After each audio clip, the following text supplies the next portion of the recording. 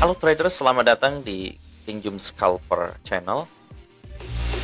Seperti biasa, hari ini saya akan mencoba mengulas market goal untuk kalian semua.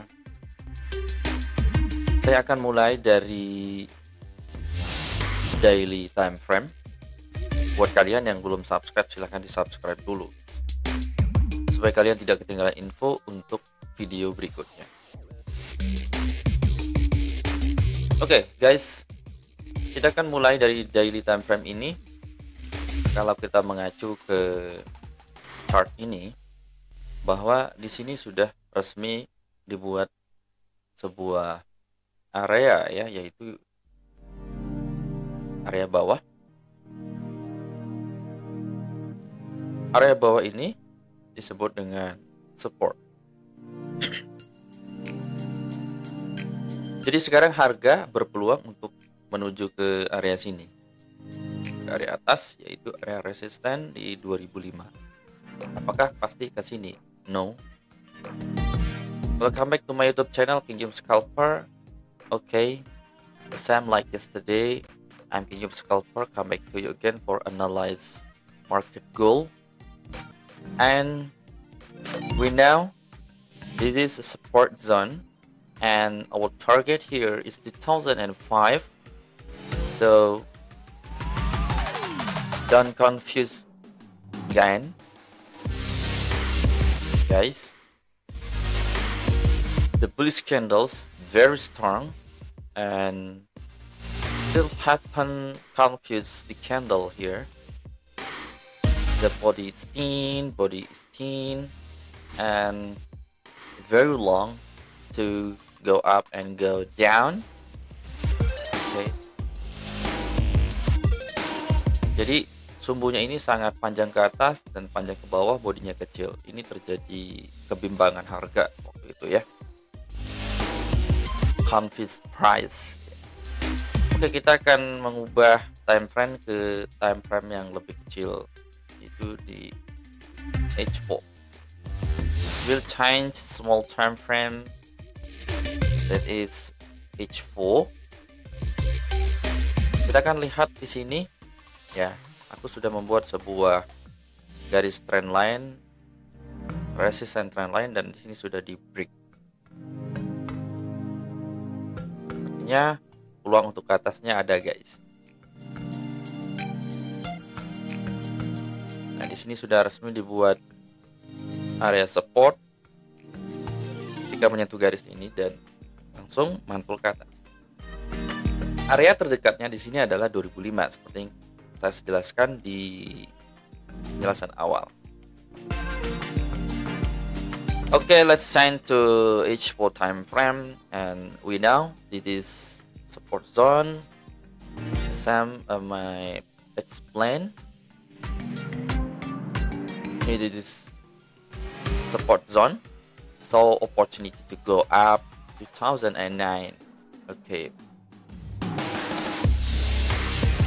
My explains uh, likes before. Okay guys. So don't uh, forget to uh, attention again for this candle because this candle's very strong to go up. But be careful jadi hati-hati juga nggak mesti harus ke 2005 sih. Paling mentok di sini dia mantul ke bawah lagi bisa juga. Makanya kita harus perhatikan untuk time frame lebih kecil. Not almost the price go up 2005 but you must attention in a small time frame. Oke okay, kita akan perhatikan untuk time frame lebih kecil karena kita nggak bisa hanya prediksi begitu kita melihat bullish candle harus ke ini enggak let's move to H1 time frame.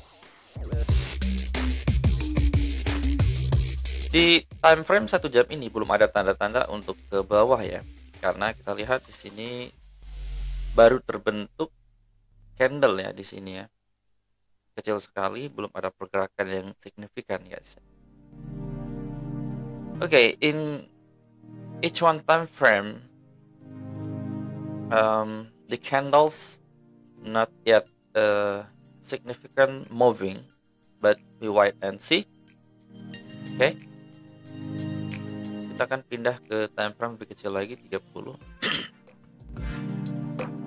di time frame 30 ini masih didominasi oleh bullish candle jadi pergerakan untuk ke bawah masih sangat lemah sekali. Oke okay, guys. Oke okay, in 30 time frame domination in the bullish candles. So very strong to go up again. But um, moving the the price go down very very not strong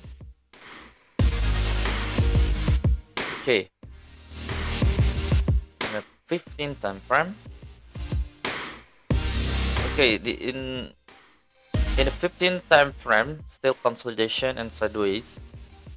Maybe um, after the price uh, go up from uh, 1965 to 19 1990 and now consolidation price here jadi akan terjadi konsolidasi di sini sebelum dia melanjutkan naik atau malah turun seperti itu ya oke okay.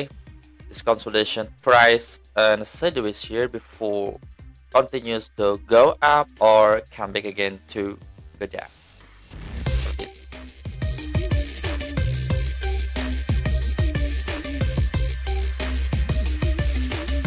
Okay, thanks for watching this video. Don't forget to like, comment, and share this video. And we come back again for tomorrow. See you.